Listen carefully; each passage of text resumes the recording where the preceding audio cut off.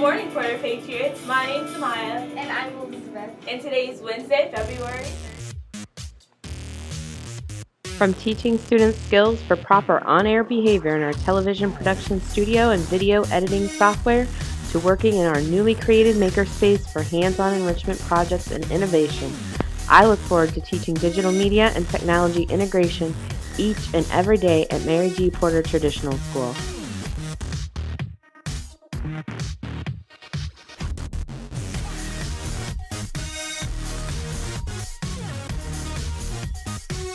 In our makerspace, students get to experience and use 3D printers, work on coding, as well as designing and building hands-on projects.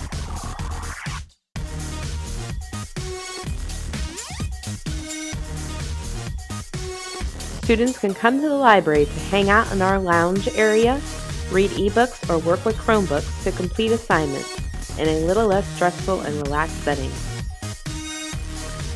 I've incorporated a large television monitor to serve as a digital bullet board and display digital projects students have created in a rolling slideshow format.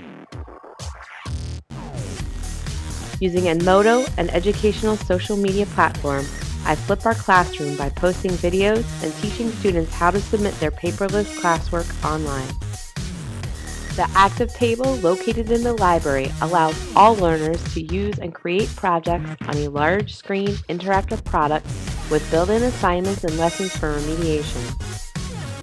Our use of technology integration is often second nature at Porter. While we encourage students to be creators of content, we also stress they be mindful of their digital footprint.